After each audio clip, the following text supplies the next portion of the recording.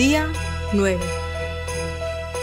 Abrir el corazón como San José.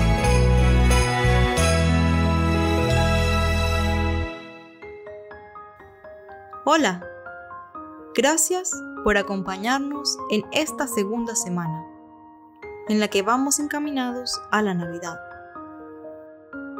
Estos próximos días los dedicaremos a meditar sobre las virtudes de San José y su rol en la Natividad de Jesús. Incluso viviremos como nadie las escenas previas durante el nacimiento del Niño Dios, gracias a las revelaciones de Ana Catalina Emmerich. Sería de mucho fruto espiritual que busquemos abrir el corazón, como Él lo hizo que al principio del embarazo de María no entendía nada, y aún así confió en Dios y procuró hacer su voluntad.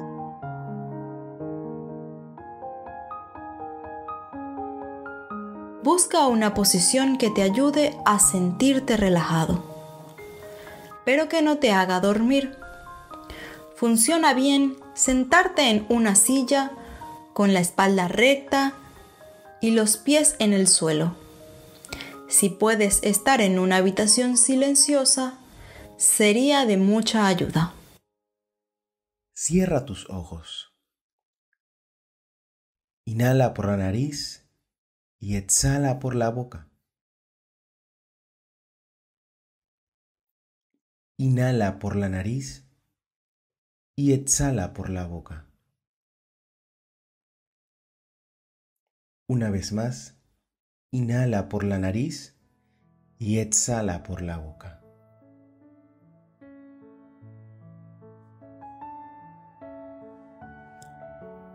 Imagina que tienes planes para toda tu vida, algo grande, algo que has soñado. Y al poco tiempo de haber comenzado a hacerlos realidad, la persona que amas te dice algo que derrumba esa realidad te ha sucedido? ¿Cómo te has sentido?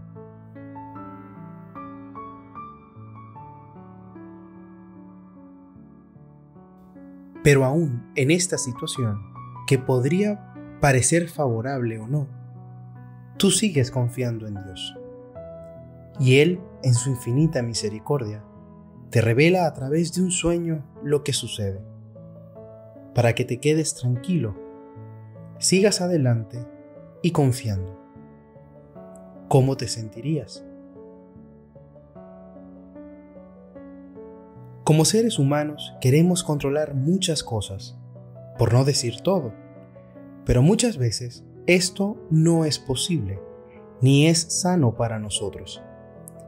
Y entonces, cuando los planes cambian abruptamente, nos creemos que vamos viviendo en un sinsentido. ¿Por qué cuando suceden estas cosas no meditamos lo que quiere el Padre de nosotros? ¿Por qué no preguntarse cuál es el plan de Dios en esto que sucede?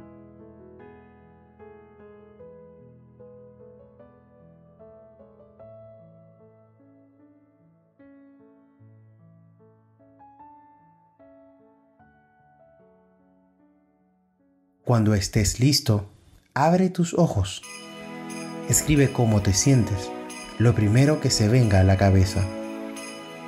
Puedes buscar un diario o usar tu blog de notas en el móvil para apuntar todo durante este viaje interior a través del Adviento.